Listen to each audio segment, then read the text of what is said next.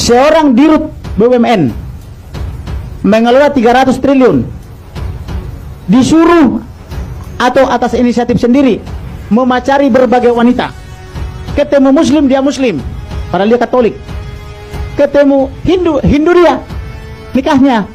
Ketemu Kristen Kristen dia. Semua agama dilakonin. Kesannya Nusantara banget gitu loh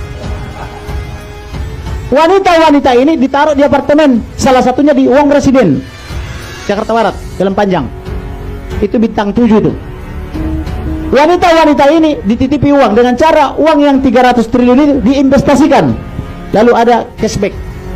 Cashbacknya ini diinvestasikan sama perempuan-perempuan ini yang tidak dinikahi secara resmi hanya secara goib dinikahinya ajaibnya buat wanita-wanita ini bisa transaksi 200 juta per hari. Entah uang dari mana? Saya nggak ngerti kalian kalian kasih gaji berapa itu di BUMN itu. Namanya PT Taspen. Saya buka aja saya seorang orang nggak suka nggak suka pakai etik-etikan. Langsung aja. Ya? Ajaibnya ini ajaibnya nih. Sampai detik ini anaknya kandung sekolah SD belum dibayar SPP-nya dari istri yang resmi Nama istrinya nih klien saya namanya Rina. Saya surati presiden diam. Saya surati wakil presiden diam. Saya surati komisi 6 diam.